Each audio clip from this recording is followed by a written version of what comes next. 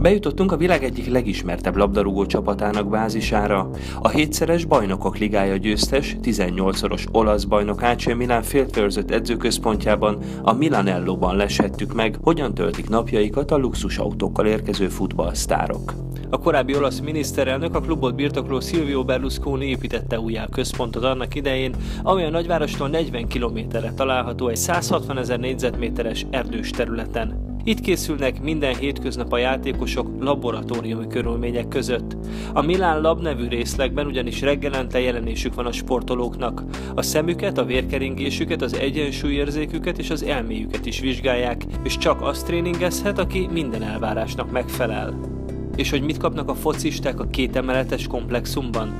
Úszómedencék, biliárterem, ebédlő hálószobák, valamint kilenc foci, illetve egy-egy futó, kosárlabda és röplabdapálya is várja őket. Ez annak ellenére is jár nekik, hogy az olasz bajnokság idei szezonjában a gárda kicsit gyengélkedik, május közepén még csak a tizedik helyen állnak.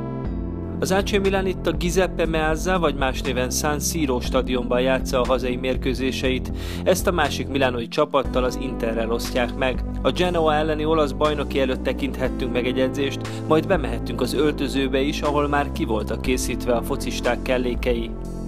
Ebben a milánói üvegépületben található a csapat üzleti és szurkolói központja, a Casa Milán. Itt található a csapat múzeuma, egy bolt, ahol a szurkolók piros, fekete sárat és egyéb ajándékokat vehetnek, és egy kávézó is, valamint az irodák is az épületen belül kaptak helyet.